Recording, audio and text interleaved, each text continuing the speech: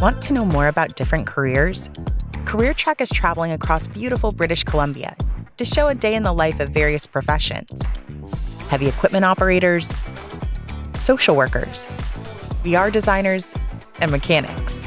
After all, it's one thing to read about a job, but it's another to see it in action. So join us as we explore some of BC's in demand jobs. You might be surprised by what you find. Whether it's a power plant, bridges, or roadworks, there's a lot that goes into building infrastructure. Our next guest is responsible for planning, designing, and developing some of the important infrastructure that we use every day. Let's meet a civil engineer. Corey, it's lovely to meet you. You as well, I'll show you around. Perfect. My name is Corey Brown. I'm a professional engineer, owner of Gwaii Engineering here in Victoria. We develop all things infrastructure, really. We take a site, we work with architects, and we really design it from the ground up. Looking at roads, different types of infrastructure, sewer, water, drainage, things that you wouldn't typically think about when you're looking at a building. It's basically a blank canvas, so you show up and you look at a piece of land. By virtue of where we live, there is challenging topography around Vancouver Island and BC in general. Honestly, every job is a little bit different.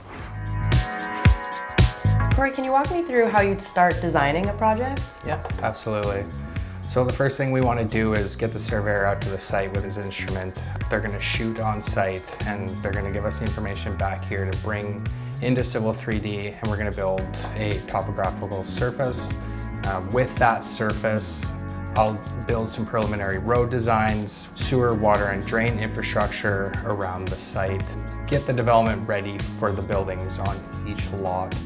I'd say start to finish in the process from having surveyors on the site to finishing final designs is anywhere from two to six months. Looks like a lot of information on a single screen. Well, thank you.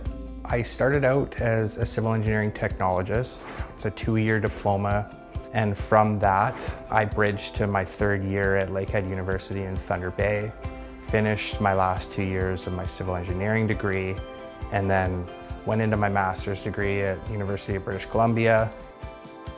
I think people have it in their mind that you have to be a genius. The degree is challenging, getting through it takes dedication, takes hard work, but I think that's true for any post-secondary education.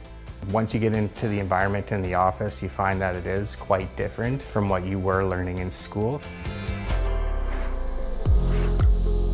Corey, thanks for bringing me to the site here. I'm curious what your team's involvement was. Essentially, we designed site servicing, so sewer, water, and stormwater management.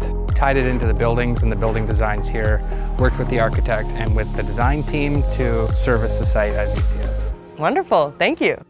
We work with a lot of private land developers, but at I also work with First Nation communities to take my professional designation and bring it back to my community and offer my services has been an amazing experience really over the last couple years. Today was really informative, thank you.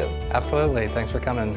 Once again, I'm Miriam for Career Trek, reminding you that this career could be yours.